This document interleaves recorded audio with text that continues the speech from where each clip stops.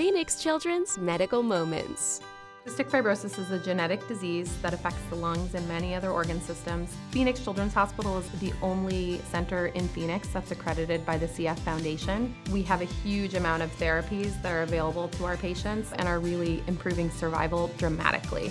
Everyone is really passionate about taking care of our cystic fibrosis patients. The kids are really thriving just like any other child in the community.